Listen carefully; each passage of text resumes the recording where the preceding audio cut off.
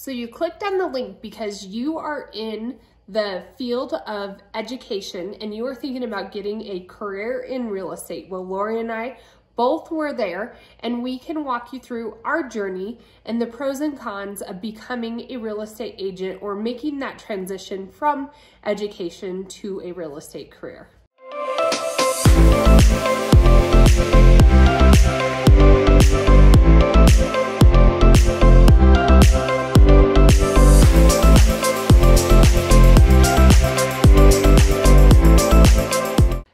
So it's Laurie and Kalene with GYST Finest Agents, your second career real estate agents. And we are putting on a ton of new content. And so we really specialize in whether you are a new agent or whether this is your second career, what that looks like to make that change.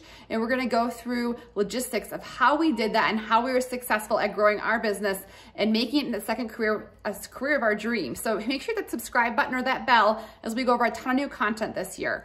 Also make sure to give us a call if you have any questions. We'd love to help you make that change. We actually even help pay for your classes if you need that. So give us a call, 719-639-3393 with any questions on becoming an agent in real estate.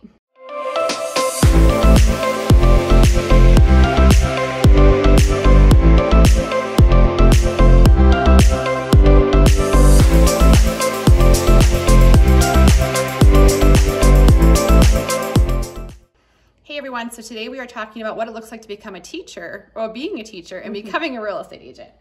So Lori and I both worked in the education field. She was a counselor and I was on the admin side of working at the school. And though we loved for that moment in our lives working for the schools, and if you do, that is fantastic, we both came to a point where we were just kind of a little burnt out and wanted something different. And we both had a passion for homes, design, and real estate in particular. Yeah. Little did we know that we would love we would our love new it. jobs. I know. So Let me give us a little caveat though. It's like we, I respect teachers. My, my all my kiddos. I God Your bless you. My in. husband's in education. I was in education for almost 15 years.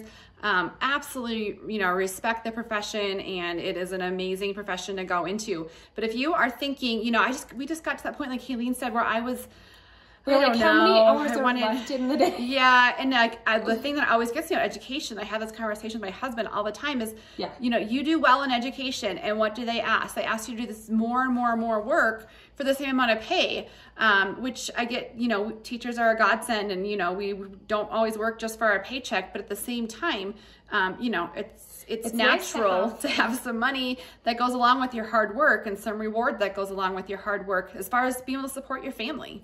Well, Laurie and I, we worked in the same department together and we really, that last year that we worked together in the school district, we had gone above and beyond, like created content for kids that were, you know, she was a counselor and I was her admin and we had done a lot of online stuff for the kids, really reached them where we were at and we were like, hey, we're pretty good at this. Yeah. Like we made it more fun for the kids. And then at the end of the day, everybody was like, good job. yeah. That was it. Now, here's some more work. We'd like you to do this Wait, now. now we want program. you to take this on and yeah. this on. And we were like, all right, we didn't mean it for that. We just, you know, liked what we were doing. And then it became a little overwhelming with where, what they wanted us to do at no extra pay. Right. So, so we're going to break down, you know, five things to consider when thinking of becoming a real estate agent as a teacher. And the first one, you know, obviously is your time. And so, you know, yeah. you it's a very different profession. So we each have three kids. Kalene has three kids, and I have three kids. They are a little bit older, um, but we don't work from eight to five. Um, you know, it's now our kids are in school. Thank goodness. It was our first day back. oh, we were like, oh my gosh. I was just telling Kalene, like, I used to get sad like the first day of school, just thinking how old they were, and like today, um, you know, kind of I don't know, not after COVID, but we're going back to school full time. We were right thankful. now. I was like, see you later. we'll see you at three. but you know, that's we've talked to some other you know people who thought about getting into real estate, and they're like, I love going into work at seven thirty and getting done at 3.30. Um, I know as a teacher, you work more hours as far as like grading. Trust me, my husband comes home or he now is an admin, but he used to, you know, work in the, actually in the classroom. And I know your hours go above and beyond that. Mm-hmm. Um, but in real estate, really, there is no set hours, which could be a pro and a con depending upon, you know, where you're at. Well, um, and that's the thing, I guess we're going through five things, Yeah. but it really your time can be broken out into so many um, different categories. And the time that Laurie is talking about, like seven thirty to three thirty, I have to say we're working all the time. We aren't necessarily off at three thirty. Neither are teachers, but we can get so much done because we're at home as well. Yeah. Like I can throw in my laundry, I can throw on my dinner whatnot in between phone calls. Um, But if you like those schedule, like I don't have three months off in the summer or two months off in Yeah. the summer. Like we do, we work through the whole thing. We try to make it a little bit less in the summer since our kiddos are home. But um, you know, you can kind of set your boundaries. But for the most part, when you know when you have a million dollar client call you, um, and you know that's you know twenty five thousand dollars, you are gonna go show that house. I mean, you can set your parameters a little bit, but there is not that set time frame of that you are know that you are working and not working. So that was one thing. The um, you know that's the, uh, one of our first points. The second point is, um, flexibility. yeah, That's that's, good. was Yeah, flexibility is a good one. I, I just keep thinking like when I worked at the schools and I was like, oh, at my lunch, I just want to run and I have to drop this off at the post office because by the time I get off and out the building and whatnot, um, you know, there's a line. Well, at the school, like at the school we worked at, um, when we worked together, I worked at a couple different school buildings, but the last one, they didn't even allow us to leave at lunch. And really, we didn't No, have enough time. it's like, oh. Yeah. And um so I felt like even though I did get off at 3:30 by the time I fit in all of my other things that I had to do as a wife and as a mom there was not enough hours in the day. And so the flexibility of being your own boss and working real estate, I feel like you can fit more into your day because you have the flexibility. You aren't being told that you can't leave the building. yeah, you can come and go as Yeah. you can please, and you know whatever you need to get done. Go to the You're grocery your own store boss. and you're your own boss, which I love. Yeah. um, I would never go back. Um, I was, you know, education blessed me for many years, and it was great when my kids, you know, were a certain age or Mm-hmm. was. when I was I was very out. thankful. But um, you know, I there's not a day I look back and I'm like, gosh, I wish I wouldn't have made that move. Um, you know, the third point that we want to talk about is the money. Um, you know, in education, you get a salary. Is it a lot? No, um, but it is something that's stable, um, and it's something that you know you can pretty much rely on.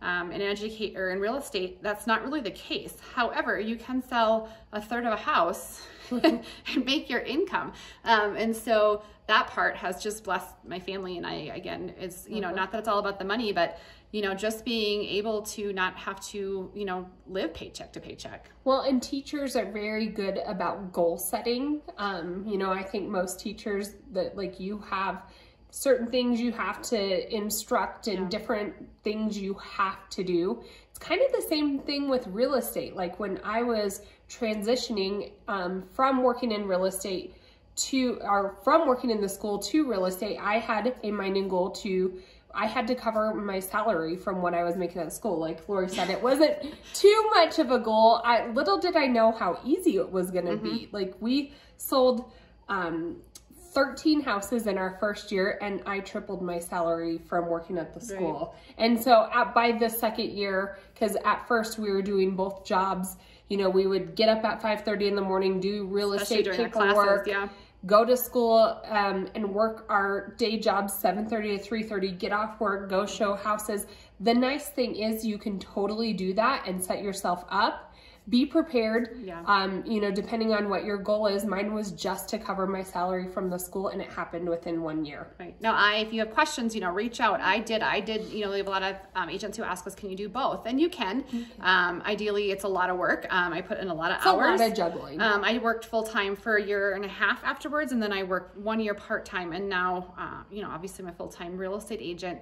Uh, wouldn't look back, but it is a lot of juggling. Um, but if you need that transition, you know, between working full time, especially if you're a single mom or single dad, or you, um, you know, you don't have a husband who can cover your entire salary, and you rely on that, and you need to just give yourself that flexibility to work yourself in. Real estate is a great career to work, you know, at nights during the summer. It does get, we're lucky we had each other, but it gets a little tricky, but definitely doable. And if you have questions about what that looks like, you know, reach out. Well, and I was going to say it's very, um, very much so a question you know, whatever your goal is really depends on where you're at and what you need for your comfort level. And so there's a lot of moving parts, but if you know what that looks like to you, mm-hmm. Laurie and I can help you. You know, if you know you want to sell so many homes, you need to produce so much of an income, we can put that into steps for you to get you there and on usually a pretty quick path to help you meet your goals. Right. And I would say the fourth point we're going to talk about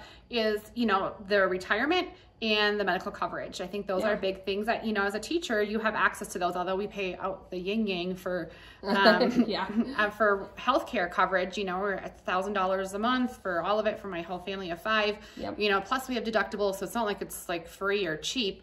Um, I know every district is a little bit different, but um, you know there are real estate companies out there. We're with EXP. If you have questions about that, let us know. But EXP has a healthcare program, and yep. there's people we can put you in contact with who could give you like an estimate of what that looks like, especially if you have a family or kids.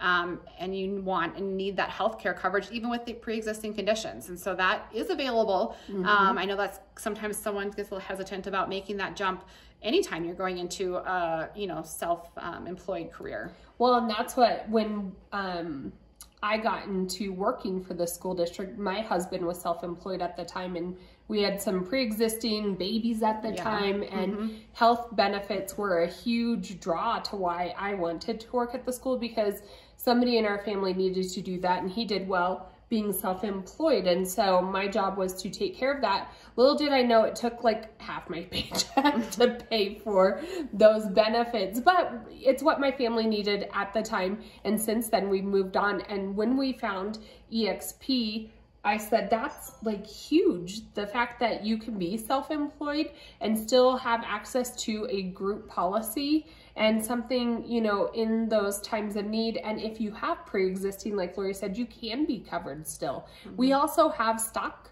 options that we can earn with our company. Mm -hmm. um, and so it kind of, you know, belonging to EXP kind of tackled a lot of those concerns that I said were was huge for um, why people don't go into being self-employed because they're, they're a risk. And then we talk about retirement. So here in Colorado, we have PERA.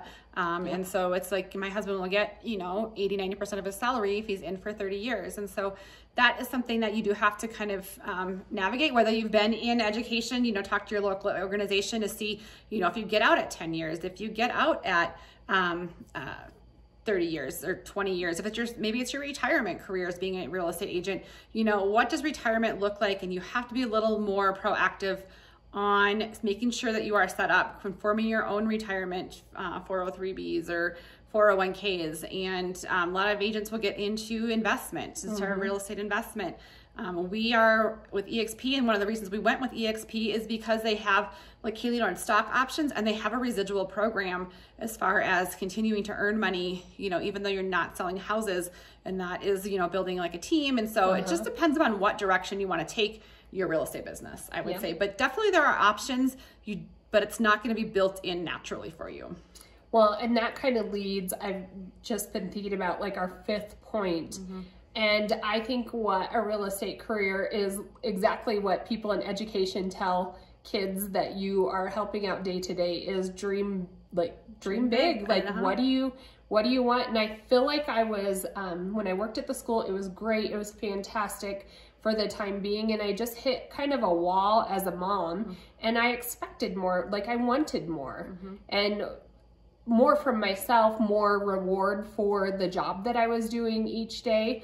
And little did I know like our first goal we want to sell a house. We want to sell 13 houses this year. Now we want to sell 50 some houses. And now we're creating really a legacy for our entire families.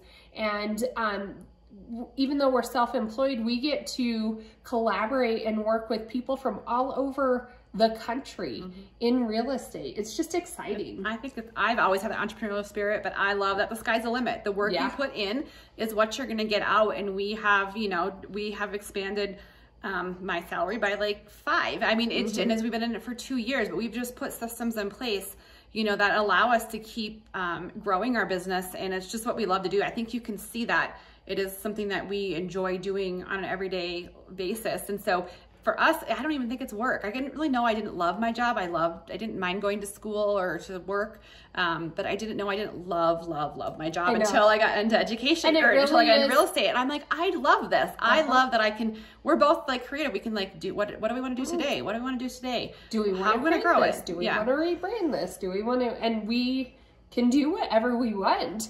yeah it's it's a wonderful thing about you know and, and so it's it, there's pros and cons becoming a real estate agent um, when you're in the education field. And the thing that gets me you know I, I talk about you know you get more work if you do well but i feel like educators aren't paid what they should. But i taught abroad and educators were paid a lot of money and we were perceived as like a lawyer or doctor and have that prestige and here as much as we don't i feel like we're good samaritans in, in the world mm-hmm. which i don't know i get it we you know sometimes we their hearts in it for the right reasons or the wrong reasons or wherever you're at we have a good friend who's getting a divorce and he has two master's degrees he's been in education for how many for I think he's A in 22 time. years right now. And guess what? He has to go and live in a condo with his two kids because he can't afford a home. And he's been Mm-hmm. in education for so long. And it, that, that part frustrates me. I'm like, no, I do think someone who's been in it for that long should, you know, be more monetized as far as that goes. Yep.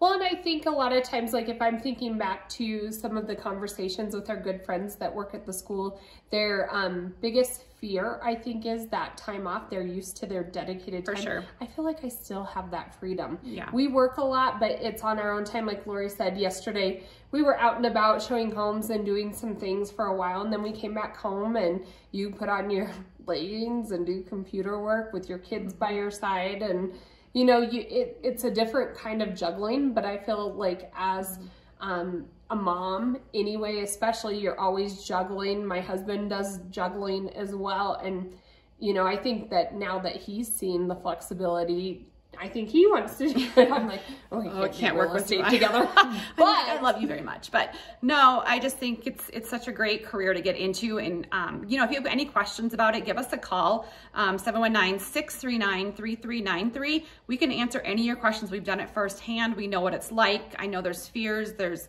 pros and cons to making that switch. So reach out or give us a call. Um, Kalene and I would love to help.